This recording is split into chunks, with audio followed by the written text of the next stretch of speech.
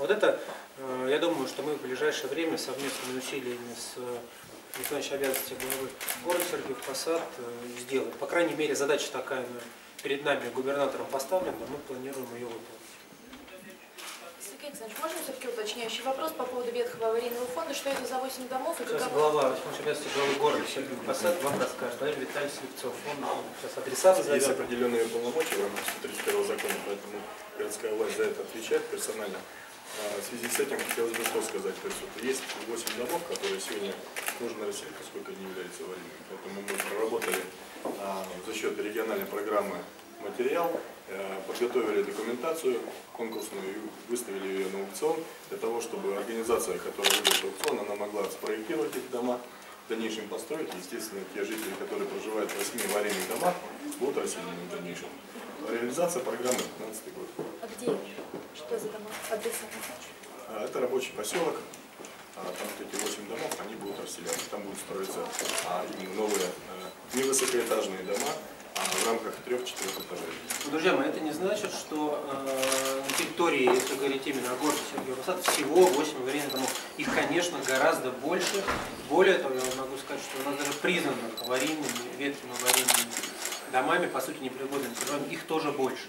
Но на все сразу средств у нас не хватит. Опять же, несколько, мы работаем по нескольким направлениям. Первое – это работа с региональными средствами, с федеральными в рамках э, реконструкции, расселения по федеральной программе расселения ветхого аварийного жилья. Второе направление работы – это так называемое э, вторичный рынок строительства, когда эти дома, эти участки, мы заключаем инвестиционные контракты, приглашаем инвесторов, они разбирают эти дома и на их месте строят другие. То есть сейчас мы готовим и эту в том числе программу, и это должна быть также существенная часть. Просто ехать на шее у регионального и федерального бюджета, конечно, мы э, такого права, в первую очередь, морального не имеем. Но то, что в городе Сергиев Посад, к сожалению, эта работа до сегодняшнего дня э, велась, ну, скажем так, не совсем, э, не совсем с адекватной скоростью, с не совсем адекватной потребностью, это факт. У нас есть еще подобного рода поселения, у нас, к примеру, э, город Ходьково. Кто знает, там вообще ни одного дома никогда по э, федеральным программам ветхого аварийного жилья по и по реконструкции не ремонтировалось.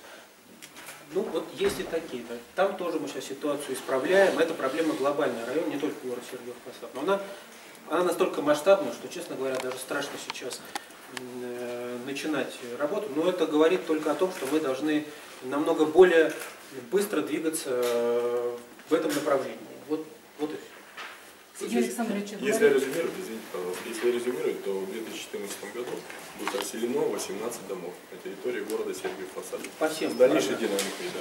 Поэтому примерно такая динамика существует.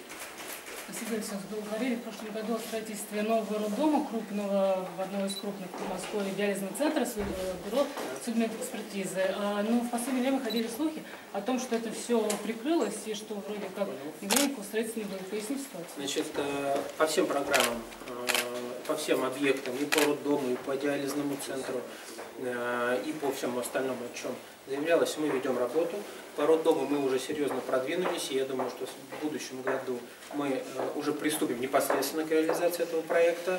Э, По, по поводу диализного центра, это инвестиционный проект. На сегодняшний день э, инвесторы, сейчас проходит замена инвестора на, действительно на компанию, которая реально готова сегодня вкладывать деньги. Э, У нас есть э, также в, след... в этом году мы начинаем работу по строительству бассейна в поселке Ремаш. Сейчас ведем проектирование, то есть также мы в течение двух-трех лет э, я думаю, новый бассейн получим и так далее, и так далее. То есть у нас ни один э, проект, ни один объект э, не пропал, не выпал. Э, Более того, э, в с губернатором я уверен, что после тех впечатлений, которые губернатор сегодня получил, после того, как он увидел, как мы работаем, а мы сегодня показывали и некоторые наши достижения, и показывали наши проблемы. Нам, собственно говоря, нечего скрывать ни от жителей, ни тем более от губернатора. Рассказывали, как мы планируем их, эти проблемы решать, показывали текущий род, показывали обычные дворы, совершенно обыкновенные, особенно, да, конечно, немного вчера там где-то почистили улицу, но гаражи и красить не стали, помойки убирать не стали, губернатору все показали как, как есть, и жители готовить не стали. Поэтому сегодня губернатор услышал очень много претензий, в том числе и в наш адрес. Но, опять же, это наша задача показывать все как есть. Но мы понимаем, как с, этим дел, с этими проблемами работать. Так вот, я уверен, что э, правительство региональное в целом, и губернатор в частности, нас поддержат в тех наших просьбах. У нас просьб очень много. Потому что в Сергиево-Посадском районе, не знаю, есть ли еще такой район Московской области, где ну, уже очень давно ничего не строилось.